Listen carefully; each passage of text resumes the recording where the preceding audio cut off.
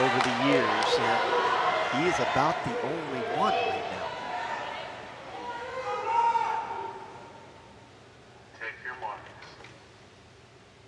Outside Nic, this really is perhaps the weakest event today for the United States. 59 flat is the 10th ranked time in the world this year. There are only three in this final that ever even broken a minute. So Nic Fink has that A cut. In fact, only two have the A cut. You have to actually have a qualifying time to make the World Championships. That's 59.75. Only Nic Fink and Matheny have that cut. Right now, Fink ahead here by a half second. Mitch Mason looks strong early in lane eight, but falling back. Noah Nichols right there in second. Watch up there. Lane seven, that's Cody Miller, the veteran. Matt Fallon at the 50. Does he have enough to get home? Normally working from behind, but will he have enough time? Nic Fink cruising his way towards the wall. He'll get the win here at Nationals. Second spot going to Matheny with a furious charge to get it done.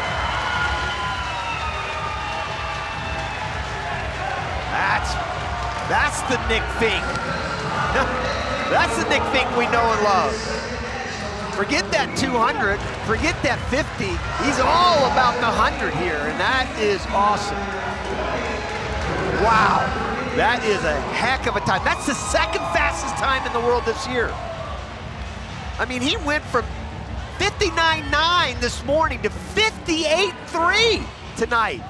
That's a heck of a swim. There he is, right there in the middle.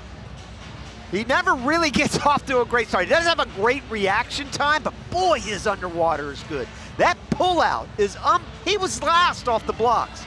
But that pullout is exceptional. And then he just folds right into that wall. So much better than anybody else in the world, I think. World champion in short course meters, so you know the kind of turns he has. And then that, that key quality for a great breaststroker. Surge forward, surge forward, quick heels. Wow, what a swim. And Matheny, who already had the A cut, goes his best time. Two reps for USA. Nic, the second fastest time in the world this year and your second national title this week. What are your takeaways from the race? Uh, yeah, yeah, I don't know. There's, it's, uh, it's kind of overwhelming still. You know, I've been here before, but every time it feels, feels like uh, I'm making it for the first time. So I'm so, so happy to see a time like that, and I can't wait to, to do it against the best in, in, uh, at Worlds. You also have a, a, nine to five job. We talked about this last night. How do you balance that with swimming at the level that we just saw? Well, how do they balance me leaving work for practice? Um, no, they're, they're really flexible, and um, I kind of just am able to get everything in and still able to do what I can do in the pool. And, and for that, I'm really thankful that uh, they're kind of letting me do it. They certainly are. Congratulations. Thank you so much. Second national title of this meet for Nic Fink, and he joins Lofty Company, making his fifth world team appearance. Less than 15 American swimmers all time have made at least five or more world teams to represent the United States. Nic Fink finding his best as he gets ready to turn age 30 here in men's breaststroke.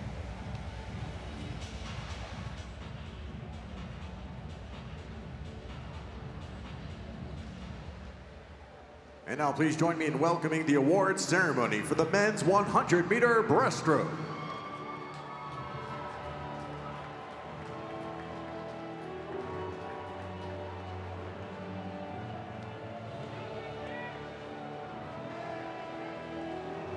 Presenting awards for the men's 100 meter breaststroke, a 2016 Olympian that helped Team USA capture gold in the 4x200 meter freestyle relay. Please welcome Melanie Margalis.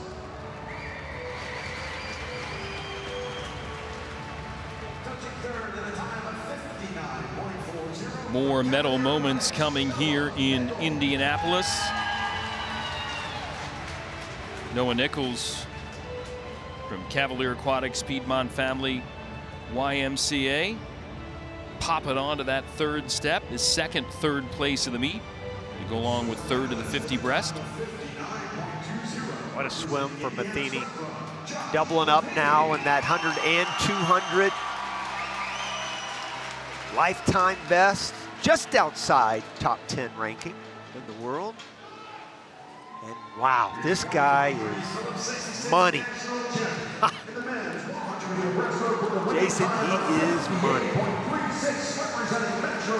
27-2 on the way out. Faster than anybody else, faster than anybody else coming home. Second fastest time in the world this year and a PB at pretty much 30 years of age next week. Got it by a hundredth of a second, but still got it. And he'll head to Worlds in Japan with even more confidence than he's already got right now.